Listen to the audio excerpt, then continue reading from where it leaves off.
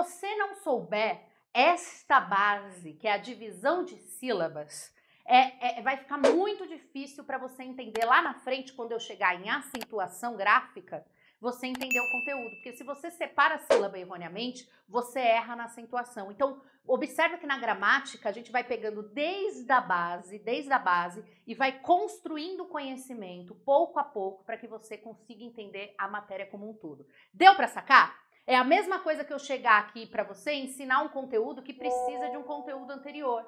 Não adianta, você precisa formar essa base aqui antes no seu, no, no seu repertório gramatical. Combinado, gente? Tranquilo? Vamos iniciar esse conteúdo que eu sei que tem muita gente que fica assim, ai, professora, eu acho tão, tão difícil eu acho tão difícil, tão, tão chatinho, mas a gente precisa saber separação de sílabas por alguns separação de sílabas por alguns motivos, né? Primeiro porque nós somos falantes do idioma.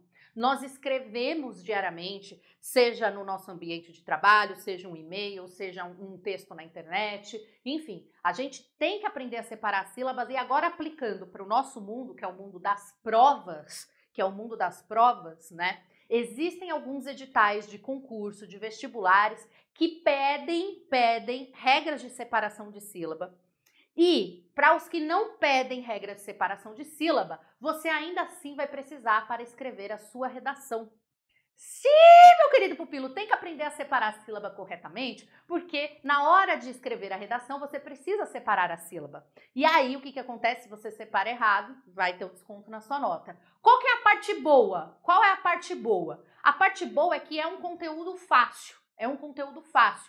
Muitas regras a gente já até muitas regras a gente já até já sabe, tudo bem? Só que aqui você vai relembrar ou vai entender por que, que a regra existe, né? Porque é isso que eu gosto de construir com vocês. Quem já participa das minhas aulas ou quem me acompanha aqui no canal, sabe que eu gosto de pegar o conteúdo desde ali de trás, explicar por que, que é daquele jeito, por que, que a regra é daquela forma, para que faça sentido nessa sua mente doida, certo? Para depois passar a regra. Então hoje a gente vai ver aqui as regrinhas de separação de sílaba. Nosso acordinho aqui, o que, que eu posso garantir para você? Que terminando essa aula, você vai aprender as regras de separação de sílaba, aprender ou relembrar as regras de separação de sílaba.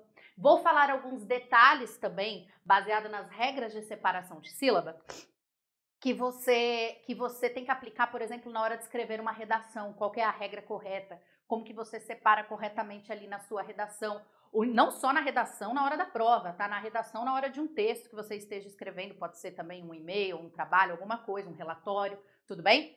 Entender a classificação das palavras quanto ao número de sílaba. Então a gente vai relembrar, quando eu falar disso daqui, vai todo mundo, ai, professora, que loucura! Vocês vão relembrar a classificação das palavras de acordo com o número de sílaba. Lembra lá, monossílaba, dissílaba, trissílaba? A gente vai relembrar isso daqui. É uma nomenclatura técnica que é preciosa, que é obrigatória para quem quer estudar e avançar no conteúdo de gramática, tá bom? Olha lá, dica da pamba, dica da pamba. Vocês vão ver hoje que eu falarei um pouquinho aqui sobre encontros vocálicos, dígrafos, encontros consonantais. Todo mundo já ouviu falar disso daqui com a tia, com a tia Ju na escola? A tia Solzinha? A tia Sol já não falou disso daqui? Quem, quem que já ouviu? Encontros vocálicos, dígrafos, encontros consonantais? Sim ou não? Já, professor, quando eu falo disso daqui, os alunos costumam falar assim: Nossa, professor, eu aprendi isso, eu era. Eu era piquititico! Eu, eu era muito pequena! Piquititicos!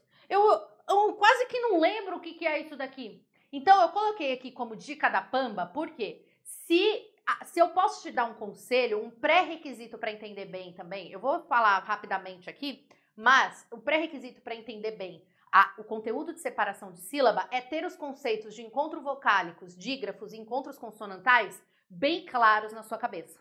Tudo bem? Se você entende o que é cada um deles, fica ainda mais fácil para você entender a separação de sílaba, tá bom? Então, tia Joana, olha lá. Sim, a tia Joana. Um beijo pra tia Soninha. A tia Soninha, né, gente? Quem tava aqui naquela live sabe que tia Soninha me tirou um sono aí esses tempos, que só Jesus na causa. Então vamos lembrar aqui rapidamente. Encontros vocálicos. Vocálicos, nós estamos falando de encontro de vogais, tudo bem? Quando as vogais se encontram ali na sílaba, beleza? Isso são encontros vocálicos. Dígrafos e encontros consonantais, todo mundo lembra o que, que é? Coloquem aí nos comentários para mim se você lembra qual que é o conceito de dígrafo e encontro consonantal, né? Oh, eu sou... Quando a gente fala encontro consonantal, coloquem aí nos comentários que eu quero ver se vocês lembram qual que é o conceito, o que, que é um ou outro aqui. Tudo bem? Coloquem aí para mim. Os encontros, deixa eu ver. Não lembro. Sim, eu lembro. Beleza. Vocês estão metendo louco pra cima de mim. Dígrafo eu não lembro, professora. Não lembro. O pessoal responde sim. Eu quero saber o conceito. Para de meter o louco pra cima de. Dígrafos são RR, SS, SC, X, beleza, legal. Eu lembro, não lembro. Vocês lembram qual que é o conceito de, de, de encontro consonantal e dígrafo? Coloca aí pra mim, ó, pessoal. Sim. Ninguém me responde. Sim. Sim, sim, lembro sim. Então, beleza. Encontro entre as consoantes, perfeito. Dígrafo e encontro consonantal é o encontro de consoantes. Aí a gente pode abrir aqui uma intrigada, né? Vamos, vamos, vamos, vamos fazer uma intrigada aqui. Encontro de consoantes. Olha lá. A Swag estava assistindo aula de regência agora há pouco aqui no canal. Olha só. Qual que é a diferença se dígrafo é o encontro de consoantes encontro consonantal é o encontro de consoantes? Eu pergunto a vocês, eu acho difícil tia, tia, Sol, tia Solzinha, tia Juju, tia Celinha, tia Solange, eu não lembro o nome das tias. Qual que é a diferença, então, entre dígrafo e encontros consonantais? Valendo nota. Agora, nos comentários. Quem fala para mim qual que é a diferença entre... Se ambos são dígrafo e encontro consonantal, são encontros de consoantes, qual que é não vale pesquisar. Você tira a mão daí que eu sei que você ia pesquisar. Tira a mão da. Não é para pesquisar. Fala o que vier na sua cabeça. O lugar para errar é aqui. Olha lá. Ah, eu lembro. Então, qual que é a diferença entre dígrafo e encontro consonantal? Hum, Carol meteu ali o certinho, ó. Hum. Dígrafo é o encontro de consoantes. Encontro consonantal ou encontro de consoantes? Qual que é a diferença? A diferença é que o dígrafo são duas consoantes com apenas um som. Então eu viro para você e falo assim, ó, carreira. Carreira. Esse RR tem som de apenas um R. Isso é um dígrafo, tudo bem? Agora, o que é um encontro consonantal? Psicó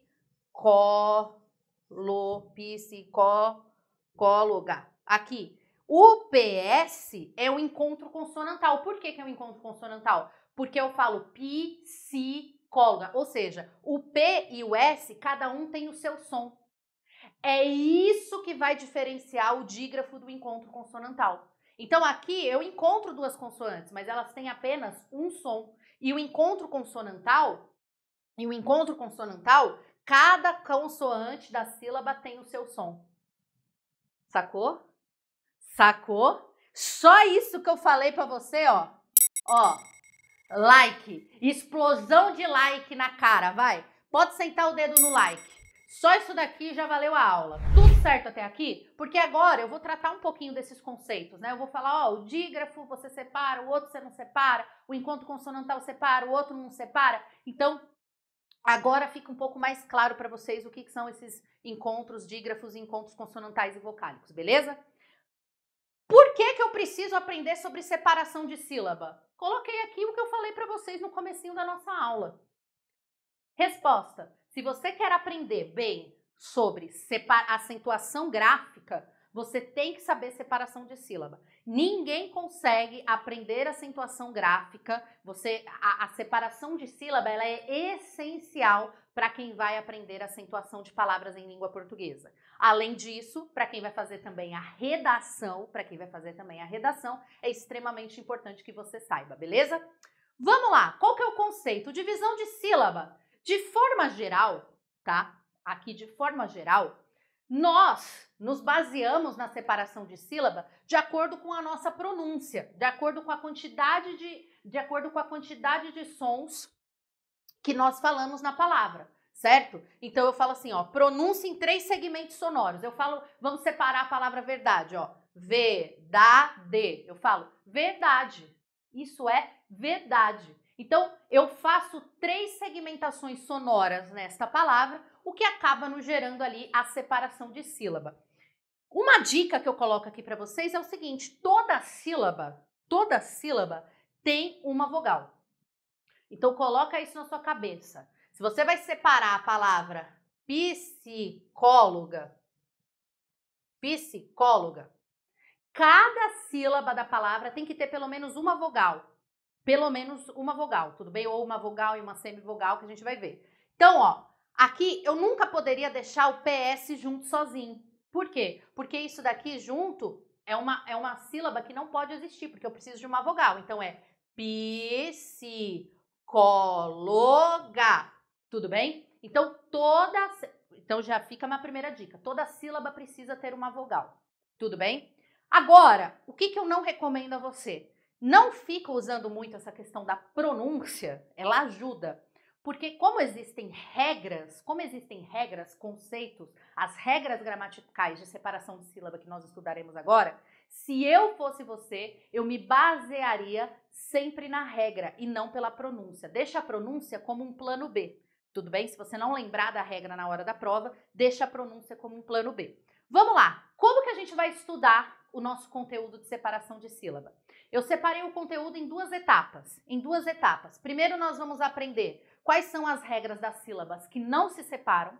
Tudo bem? Quando que a gente não separa a sílaba? E depois a gente vai aprender o bloco de quando a gente deve separar aquelas sílabas. Quais são as regras de quando a gente não deve separar e quais são as regras de quando a gente deve separar. Beleza, gente? Tranquilo? Vamos começar falando quando as sílabas não se separam.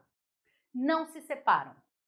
Quando eu tenho um ditongo e um tritongo.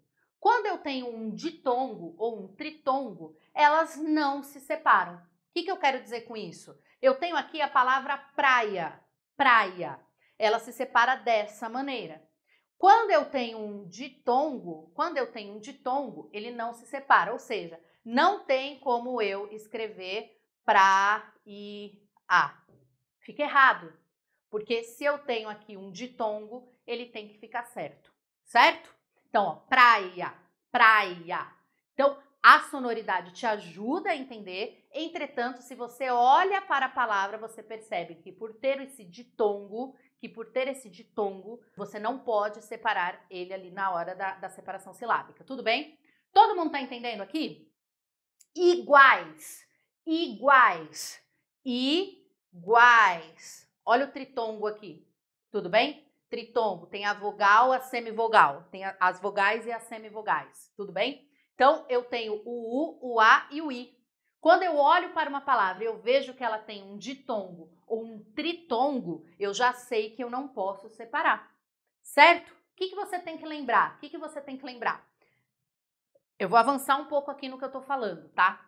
De forma geral, na língua portuguesa, de forma geral, na língua portuguesa, quais são as semivogais? O i e o u. Eu quero que vocês entendam essa dica que eu vou dar aqui para vocês. Porque você pode virar e falar assim, professora, professora, por que que praia não fica assim, ó, por exemplo? Por que que praia? Opa, a palavra não é escrita toda junta. Porque em uma sílaba, lembra que eu falei para vocês que tem que ter pelo menos uma vogal? Uma vogal? Olha essa dica Olha lá, por que praia não é tritongo? É exatamente isso que eu estou respondendo agora. Cada sílaba tem que ter a, sempre uma vogal, pelo menos uma vogal. Na língua portuguesa, eu posso ter dentro da sílaba uma vogal e semivogais, mas eu não posso ter vogal com vogal. Vocês estão entendendo? Ou seja, aqui eu tenho a vogal e a semivogal. Então, essa vogal, o A, ele não é uma semivogal, ele é sempre uma vogal. Esta vogal, ela nunca poderia ficar dentro daquela sílaba. Por quê? Porque eu não posso deixar vogal, semivogal, vogal. A sílaba, ela tem ou uma vogal e semivogais, tudo bem? Ou, ou ela tem, ou ela tem somente uma vogal. Vocês estão sacando? Vocês entenderam porque olha só quando a gente manja da regra, como a gente não erra na separação de sílaba. eu sei que eu tenho que manter o ditongo junto, mas eu sei que se esse A viesse parar aqui, estaria errado, porque eu não posso ter duas vogais na mesma sílaba. Vocês estão sacando? Mas deixa eu só acrescentar uma coisa aqui. O I e o U são, por regra, né, dentro de uma sílaba que já tem uma vogal, eles já são as, considerados as semivogais. Mas isso não significa, por exemplo, que o O, em algumas sílabas, ele não sirva como semivogal, tá? Aí vou, vou pedir para vocês assistirem a minha aula sobre semivogais que eu tenho aqui no canal. Tem uma aula que eu explico o que, que são vogais e quais são as semivogais e quais são as exceções a isso. Mas vocês conseguiram entender por que, que esse A não poderia estar dentro da sílaba? Sim, mas diferente aqui, ó, de U, A, I, que é semivogal, vogal e semivogal. Aí eu posso, dentro da mesma sílaba.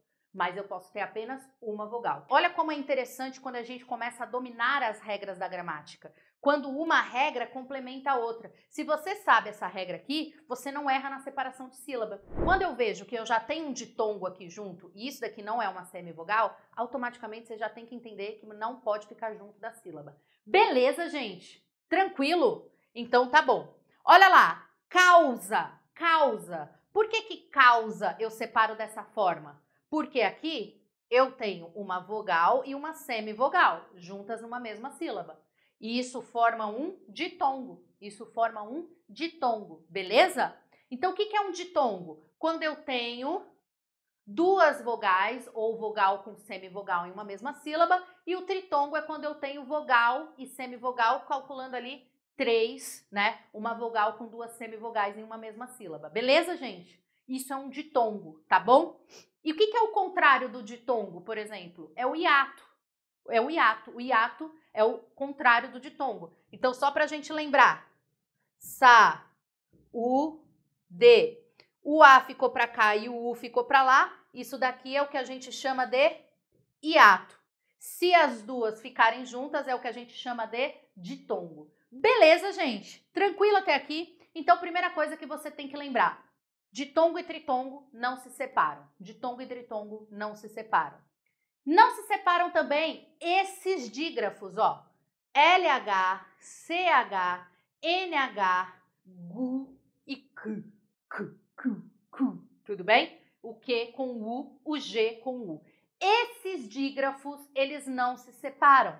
Esses dígrafos, eles não se separam. Então, quando eu vou separar a sílaba de carinho, como eu tenho o NH, é um dígrafo, eu não vou separar o NH. Então, carinho nho. Eles formam uma única sílaba aqui, junto com uma vogal. Lembra sempre disso, dessa dica, tudo bem? Ó? Quente. Então, eu tenho o Q e o U, com uma vogal aqui formando quente. Chuvisco. CH sempre junto, mais uma vogal. Visco. Beleza? Então, o que, que vocês têm que lembrar aqui? Quais são os dígrafos que não se separam? Porque tem uns outros que separam. LH, CH, NH, G, G, né? E K. Beleza, gente? Depois eu vou ver se eu formo uma. Depois eu vou ver se eu formo uma frase com, com essas iniciantes, com essas iniciais aqui, para vocês lembrarem mais facilmente quais são as que não se separam, beleza? Eu não vou olhar todos os exemplos, porque aí depois vocês podem rever isso daqui e aí vocês podem aplicar para todos, beleza? Olha aqui, por exemplo, se eu só pegar mais esse exemplo aqui, ó. Guerra, ó. Guerra, tá junto, certo? Mas aqui, ó, eu tenho o dígrafo RR, que é um dígrafo que se separa. Então, ó, o G e o U ficam juntos aqui. Entretanto, esse dígrafo a gente vai ver ali na frente que é um dígrafo que obrigatoriamente se separa. Então, aqui eu separo ele. Então, tem dois dígrafos dentro da palavra guerra. O G com o U e o RR. Só que um é esta regra e o outro é outra regra. Beleza, gente? Então, fiquem atentos com isso daqui. Somente anotem que são esses dígrafos que não se separam, beleza? Quais mais não se separam? Encontros consonantais chamados de puros ou perfeitos. O que, que são encontros consonantais chamados de puros ou perfeitos? São esses daqui que eu estou colocando para você, ó. São esses daqui que eu estou colocando para você. Eles também não vão se separar. Então eu coloco ali, ó, por exemplo, trevas, trevas. O que, que é? TR junto com a vogal formou ali uma sílaba, beleza? Gravidade, encontro consonantal que não se separa. Planeta, planeta, olha o PL aqui, ó, que não se separa. Colocar aqui, ó. Claro, olha o CL aqui, ó, que não se separa. Eu sei que, de forma geral, de forma geral, você já aplica isso no seu dia a dia. A gente meio que já sabe isso daqui intuitivamente. O que, que eu estou fazendo para você? Eu estou colocando em regras. Em regras, tudo bem? Então, pela gramática, esses encontros consonantais, eles não se separam. Então, você sempre mantém eles juntinhos também. Tudo bem, gente? Acho que tá tranquilo até aqui, né? Tá tranquilo até aqui? Também não se separam grupos consonantais iniciais. Ou seja, aqueles, aqueles encontros consonantais que estão no início também. Quais são esses encontros consonantais de início? Quando, quando eu tenho um encontro consonantal no início de uma palavra. Então, ó, que eu falo, é, é mnemônico, né? Mnemônico, que, que é o mesmo que memória, que memória. Então, eu tenho aqui MN, não vou separar, tá? Aqui, psicologia, ó, PS, se mantém junto. Pneumático, pneumático. PN, se mantém junto, sempre no início da palavra. Gnus, gnus. GN, no início. Gnomo, GN, no início. Então, esses encontros consonantais que ficam sempre no início das palavras, você também vai manter sem separar sempre. Tudo bem? Acho que isso é mais fácil de lembrar, né? É mais tranquilinho de lembrar, certo? Não, trevas não tem hiato não, porque não tem duas vogais sendo separadas. Para ser hiato, elas têm que estar uma ao lado da outra e serem separadas, tudo bem? Olha só, isso daqui, a palavra saída, a palavra saída tem um hiato, porque é sa, i, da. Então, eu tenho uma vogal ao lado da outra. Para ser hiato, uma vogal tem que estar ao lado da outra. Na palavra praia, nós temos um ditongo e um hiato. Acontece os dois, porque o praia fica junto e o a separa. Então, acontece os dois. Vamos falar um pouquinho agora que a gente dividiu a aula em duas etapas. Nós dividimos a nossa aula de separação de sílaba, aprendendo. Vocês viram que não é muita coisa. Nós aprendemos primeiro as regras. Primeiro aprendemos as regras de quando nós não separamos, quais sílabas que nós não devemos separar, quais são as regras de não separação. E agora nós vamos ver as regras de quando nós devemos separar. Tudo bem? Que aí você bate o olho ali, você já sabe que tem que separar de alguma forma. Tudo bem? Olha lá. Hiatos. Hiatos devem ser separados. Tudo bem? Então, ó, moeda, paraíso, ó, eu tenho o A para cá, o I para cá, formou um hiato. Inclusive, olha que interessante. Por que, que eu falo que isso daqui é um conteúdo para que você aprenda antes de aprender a acentuação, é, acentuação gráfica da língua portuguesa? Observe que a palavra paraíso, ela só é acentuada, ela só é acentuada porque o i ficou sozinho, fazendo, sozinho fazendo parte de um hiato. Então, existem regras da acentuação que só, só, palavras que só vão receber o acento porque a separação de sílaba é desta maneira. Vocês estão entendendo? Por que, que o i é acentuado? Porque o i, quando eu separo a sílaba, ele faz parte de um hiato. E o que, que é um hiato? Quando eu tenho duas vogais juntas em uma palavra, por exemplo, na palavra saída, eu tenho duas vogais juntas. Presta atenção aqui para você não se perder. Quando eu separo a sílaba da palavra saída, o A vai para um lado, o I vai para o outro. Então, isso é o que nós chamamos de hiato. Se ficassem juntos, se o A e o I ficassem juntos, eu não acentuaria o I. Por isso que é importante saber as regras de acentuação. Tudo bem? Lembra lá que a gente separou aqui a sílaba, ó. Cadê? Cadê? Ó, vou voltar aqui, ó. Só para a gente olhar a palavra. Iguais baixo. Por que, que baixo o i não tem acento? Porque baixo é um ditongo. Então, o ditongo aqui, neste caso, eu não separo, certo? Por isso que o i não recebe acento. Mas, no caso da palavra paraíso, saída, paraíso, observa que é sonoramente a gente divide. Então, a palavra, o, i, o a vai para um lado, o i vai para o outro. Como o i ficou sozinho na sílaba, ele separou, ele, ele, ele ficou sozinho, vindo de um hiato, eu tenho que acentuá-lo. Então, observa como é importante a gente saber as regras de separação de sílaba para quando chegar na aula de acentuação, você não ficar perdido. Tudo bem? Então, toda vez que eu tiver hiatos, toda vez que eu tiver hiatos, eu vou fazer a separação de sílaba desse ato. Então, a vogal, ela vai ficar sozinha ali em uma sílaba. Ela vai ficar sozinha em uma sílaba. Beleza, gente? Beleza? Tranques até aqui. Vou seguir aqui, ó. Quando eu tenho esses dígrafos especificamente, eles serão separados ao separarmos as palavras.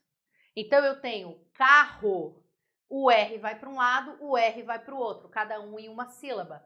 Pássaro, pássaro de fogo, olha lá. S vai para um lado, o S vai para o outro. Nascer, o S vai para um lado, o C vai para o outro. São dígrafos separáveis. Por quê? Deus quis, a regra é assim. Não adianta resmungar engole o choro.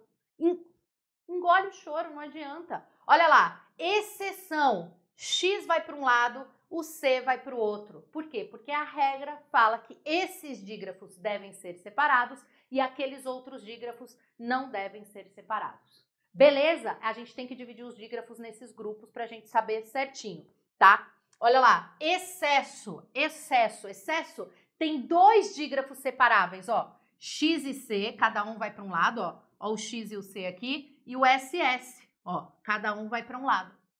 Beleza, gente? Deus quis, é isso mesmo. Não adianta rir, não. É que a gente ri agora, chora depois, tudo bem? Beleza? Tranquilo?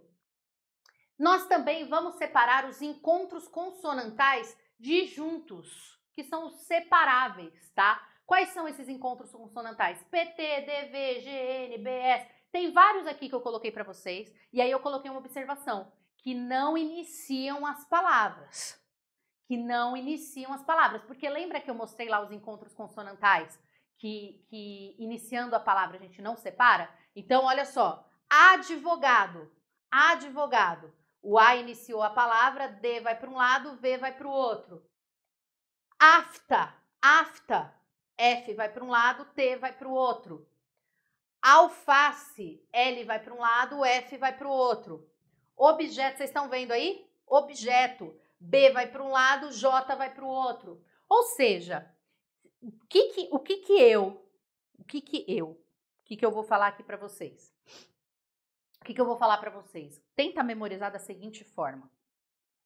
Vamos, vamos fazer um esquema aqui entre nós. Vou dar uma diquinha, um bizuzinho. De forma geral, de forma geral, se o presta atenção, eu vou até mudar aqui a câmera. Olha só, de forma geral, se o encontro consonantal inicia a palavra, o dígrafo não. Agora, se o encontro consonantal ele inicia a palavra, você não separa de forma geral, tá?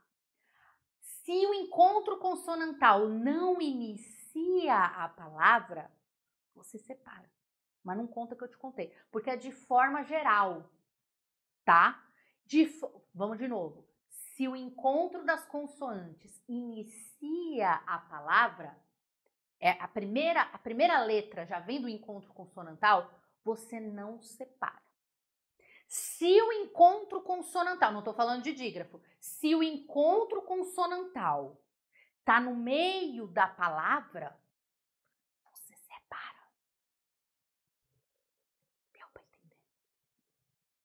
Responde baixinho aí no chat para mim. Vocês entenderam? Sim ou não? Sim ou não? Se o encontro consonantal está no começo da palavra, você não separa. Por exemplo, tá vendo aqui o BR? Tá vendo aqui o BR? Se eu tenho a palavra Brasil, é Brasil. Esse encontro consonantal no começo da palavra não separa. Mas olha aqui, ó. Vou voltar aqui para a câmera principal. É um mistério isso daqui, hein? Nós desvendamos um mistério da gramática. Olha só, mas eu tenho aqui a palavra abrupto. Abrupto. Como o encontro consonantal BR, olha o BR aqui, ó. Como ele não está no começo da palavra, eu separo. É isso. Beijo. Mentira, gente, eu não acabei não. Peraí, vocês gostaram, né? Eu vou quebrar esta. E aí, o que que acontece? Eu quebro e a equipe fica assim, é, é, é, não cuida, né? Não cuida. Desculpa, gente. Peço perdão aí pelo meu vacilo. Eu sei que às vezes eu me empolgo, mas é tudo por amor à educação, amor ao ensino. Entendeu?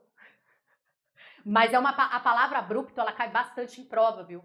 Principalmente em relação à separação de sílaba. Ela cai bastante em prova. Inclusive lá na minha plataforma, eu não, lembro, eu não vou lembrar obviamente em qual módulo. Ela tem, ela tá, aparece em várias, ela aparece em, em várias listas de exercícios com com funções diferentes, viu? É uma palavra que aparece bastante. Então, abrupto.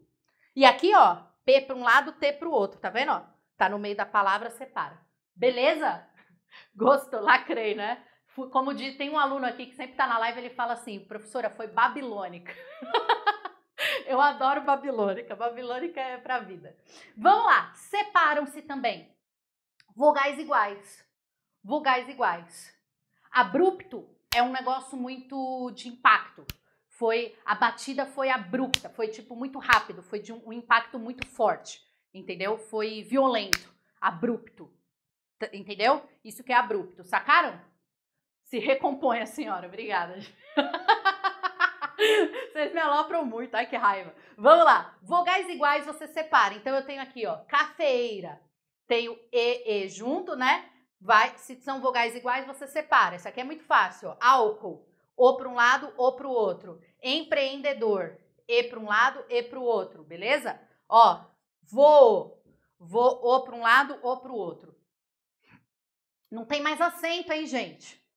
Não tem mais acento. Ó, vem, vou, eu sei o esquema de vocês. Quando vocês chegavam na prova, que vocês tinham que escrever lá para a professora, vocês metiam um acento aqui no meio. Quem já fez isso?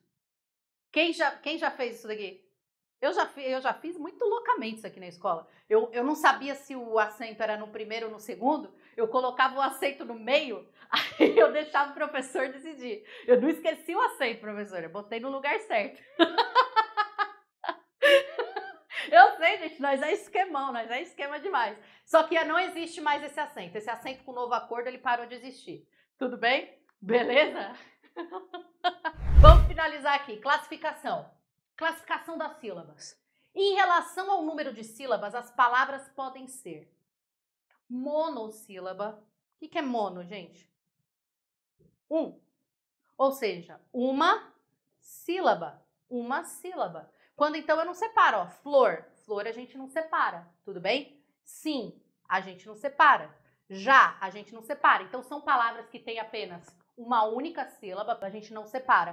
O que, que são palavras de sílabas? De sílabas. Duas sílabas. Amor, casa, lua. Tudo bem? Então, palavras que quando eu separo a sílaba e tem duas sílabas, ó, sílaba 1, um, sílaba 2, sílaba 1, um, sílaba 2, sílaba 1, um, sílaba 2, essas palavras são consideradas dissílabas. Vocês lembram dessas palavras, gente? Dissílaba, monossílaba, trissílaba. Sim? Estão lembrando? Trissílaba, como o próprio nome já diz, três sílabas. Palavra, paz, ar. Des. Opa, aqui eu risquei errado. Peraí, peraí. Ih, foi lá pro outro lado. Só para complicar minha vida. Aqui. Deixa eu pegar a caneta de novo. De. Ui! Des. Estou quebrando tudo hoje aqui. Decida. Uma sílaba, duas sílabas, três. Uma sílaba, duas sílabas, três. Uma, duas, três. Tudo bem? Lembra que a gente aprendeu hoje aqui sobre o dígrafo? S vai para um lado, C vai para o outro, três sílabas. Todas as palavras em língua portuguesa que tem três sílabas são consideradas trissílabas. E as polissílabas, né? Polissílabos. Poli, que significa muitas, vários, muitos, vários. Borboleta. Então, quatro ou mais, tá, gente? Adormecida festividade. Então, eu tenho aqui um, dois, três, quatro. Quatro ou mais sílabas, polissílaba. Um, dois, três, quatro, cinco. cinco sílabas, polissílaba. A partir de quatro sílabas já é tudo polissílaba, tá? Um, dois, três, quatro, cinco. Cinco sílabas, polissílaba. Beleza, gente? Beleza. Tranques. Tranquilo aqui? Foi difícil? Ô, oh, vocês choram muito. O negócio é facinho, língua portuguesa, o negócio é babinha. Vocês. Ai, não sei o quê. Ó, já aproveita, cola lá no meu Instagram, cola lá no meu Instagram, deixa nos vídeos, ou pode deixar no inbox também, pode deixar no último vídeo. Eu acabei de postar um, postar um Reels pra você, para vocês, bem legal, bem legal. Vai lá no meu Instagram, já me siga. Tranquilo? Então nós vamos encerrar como? Embora? Bora! Simbora! Nessa animação, é assim que eu me despeço.